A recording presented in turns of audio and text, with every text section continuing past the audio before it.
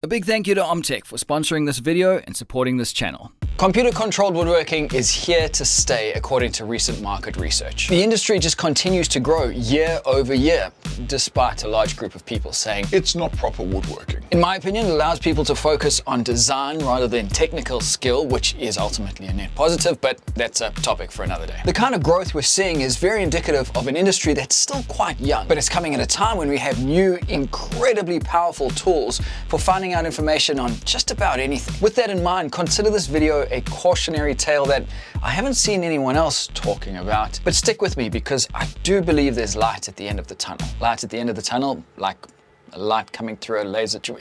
Let's just get on with the video. Let's go back to August, around three months ago. I just finished signing a content deal with Omtech and my new Turbo 756 60 watt CO2 laser was about to be delivered. But before that, I've got to clean up this spot behind me because this is where it's going.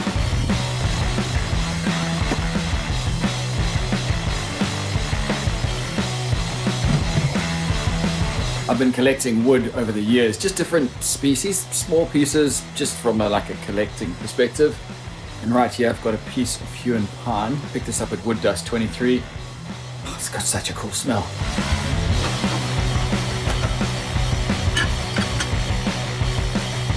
Oh, look at this. So this was a project that I lost uh, last year sometime. Um, it was going to be like a trophy stand for a very, very big franchise here in Townsville.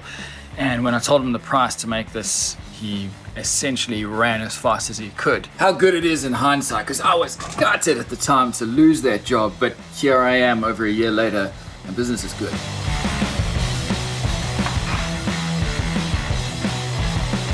So according to the specifications on the website, this unit is around 1.2 meters long and about 8 to 900 millimeters tall. So I've marked that out here. That's where it's going to go. It's roughly the height that it's going to be. And the reason I've done this is because this slab that I'm on is terrible. It is just all over the show in terms of its height. If I use this 1.2 meter level, that's the height difference. We're looking at about 30 millimeters across that span. That's a pretty big difference and I don't want to just rely on the feet to be able to take that up. But if I look at the website and what the feet look like, I reckon I won't need a long strip to sit that on. I might just be able to do it on point. So, and that means I can just roll the machine in as it is now and then spend some time afterwards lifting it up and making sure that it's perfectly level. I just got a call from the freight company. They are dropping the laser off a day early. Um, good thing I got that spot cleaned up. Now the challenge is going to be to get it into the workshop. This thing weighs 100 kilos on the pallet, and I don't think they're going to be able to drop it into the workshop because I've got some dirt road going in. But uh, I'll see if I can twist the driver's arm. And while that's going on, let me explain why I've decided to add a laser to the business. Over the last year, I've had a lot of requests from clients who want to personalize the furniture that I make. It's been great that I can just go over to Dan and ask him to do the lasering or engraving that I need, but it's clearly a part of the business that I'm in. And the second thing is that having a laser allows you to tap into a low cost, high volume niche in the industry. Up until now, I've been relying on selling a $3,000 vanity. There's a lot of profit in that, but it's for a very select customer who wants maybe a large piece of furniture or they're building a new home. But with a laser, you can batch out small, low cost items and still make it profitable which opens up a whole range of new clients. So over the coming videos, I'm going to be incorporating the laser and the work that this laser is doing a lot more. And I'm going to be trying to actively find new niches that I can try and tap into. Well, that's some good news. Driver managed to get it all the way in to the concrete. That's one hurdle done. Here's a quick run through of the features of this machine. It's a 60 watt CO2 laser. The processing area is 700 millimeters by 500 millimeters, and it's got a 600 millimeter per second max engraving speed. When I was approached by Omtech, I jumped at the opportunity because I'd heard a lot of good things about their machines. Off the pallet in one piece, that's good, but now is the real, the real challenge. I have a standard single entry door into the workshop and I don't mind taking off the door stops on either end. I'll even take off the door if I have to. Past that, we get the jamb, and then it's onto the stud, which I really don't want to have to take off because that's been anchored into the car, into the bricks. I've done a measurement that comes in at 87, which is substantially less. But then you get this handle, which obviously folds down, which is good. And then you've got this port at the back. So it should fit, but with those little extra bits, there's a water pipe here as well. Hopefully that's not gonna get in the way.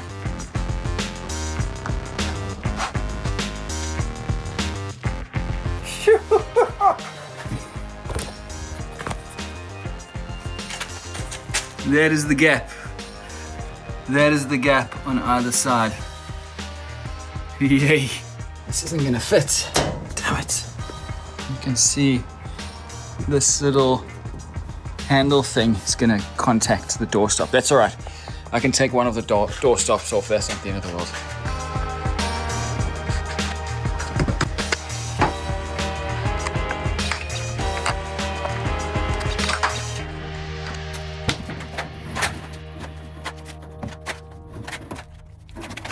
Hey, there it is. I don't have to take apart my entire door. So stoked. Look at that, eh? The doorstop is back in place. The laser's in place. I'm a very happy man. I'm gonna slow things down now because I need to set this machine up and it's gonna take a bit of time because I've never done it before. But more importantly, I'm not gonna put those feet down yet because I don't know what sort of space I need behind it or around it for all of the plumbing to go. At this point, I was stoked. Everything was going to plan.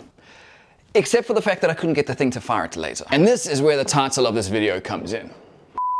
It has been a while since I got the laser into the workshop. Um, let me catch you up on what's happened. It was around five weeks ago that I got this in and installed. I got the water set up, the fume extractor set up, and then I went to do the first test run of it and the laser wasn't cutting. I got onto Dan from Riverside Woodworks and he gave me some advice but none of that worked. So I then went to Omtech support and through a couple of emails back and forth, we figured out that unfortunately the laser was broken. The next step was to get this broken tube removed and replaced with a new one. Unfortunately, that whole process took way longer than I'd hoped at five weeks, but here we are today, finally, with the new laser ready to be installed. I do have to give credit where credit's due. Omtech support were fantastic with their communication back and forth. They never left me in the dark, which is great, and I appreciate that.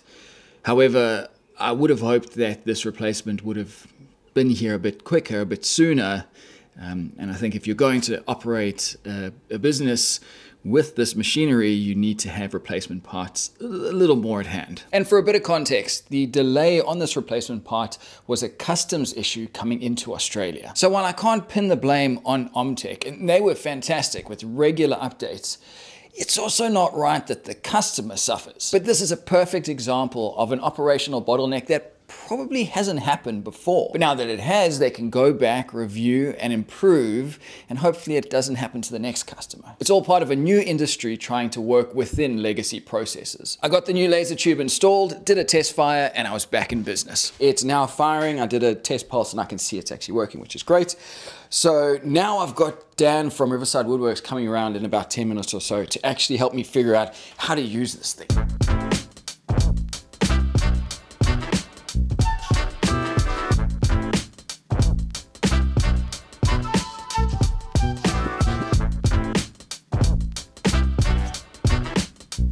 Dan just left and I now have a much better understanding of what's going on and uh, it's also highlighted how how little I knew about how this machine works. I'm also surprised by how much information we could find using ChatGPT. I feel like that's going to be a big part of my future with this machine.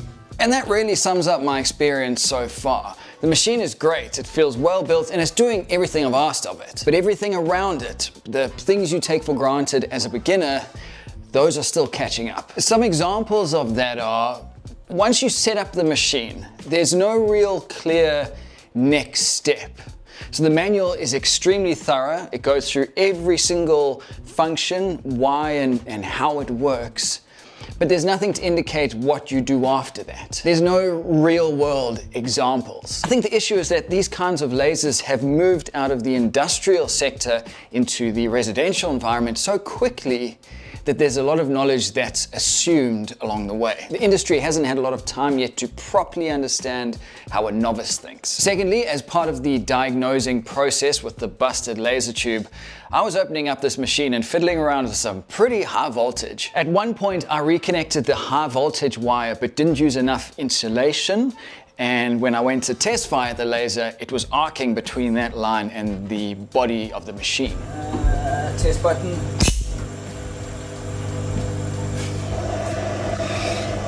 Uh... I have a basic understanding of how electrical circuits work, so I felt quite confident going through the diagnosing process. But if you didn't have that background, I reckon you'd feel pretty overwhelmed by this. And unlike traditional industrial machines, say in the woodworking field with maybe a thicknesser or a jointer, that process is mechanical, so we naturally understand what's going on. This is all new. This is a completely foreign kind of tech for a lot of people. And finally, this. This little piece of acrylic is used to focus the laser. I watched a video on how to use it, but I just kept coming up with absolutely scorched timber. The problem was that I was using the wrong edge.